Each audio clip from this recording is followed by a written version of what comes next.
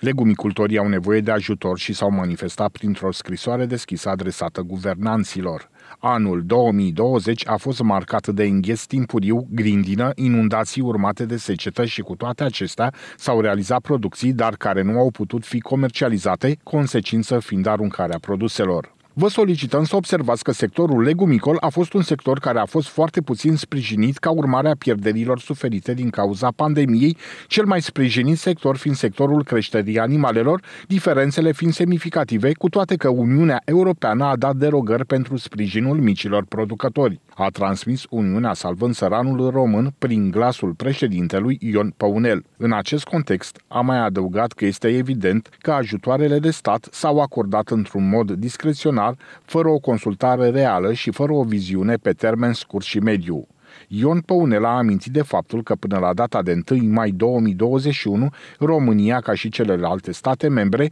ar fi trebuit să transpună în legislația națională directiva privind practicile comerciale neloiale care reglementează relația dintre marile lanțuri de magazine și furnizorii lor. Momentan însă, proiectul de lege prin care se va face transpunerea este pe drum între Senat și Camera Deputaților.